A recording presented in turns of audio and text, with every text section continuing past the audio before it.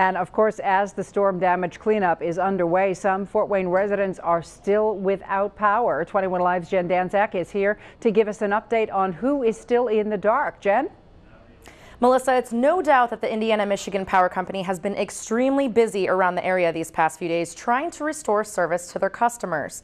Phone lines, power lines, and even transformers and poles were all taken out by Mother Nature's wrath needing to be restored and fixed by Indiana Michigan Power.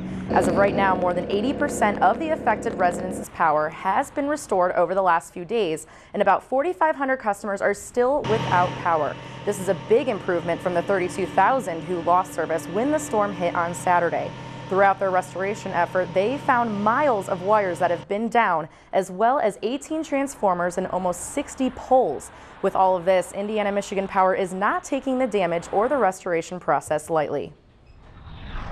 We have brought in um, crews from out of state, from Ohio and Kentucky. Right now we have 350 uh, people working out in the field to get power restored. Um, we do understand it's frustrating for folks to be without power, and we are working just as quickly and safely as possible to get everyone back on.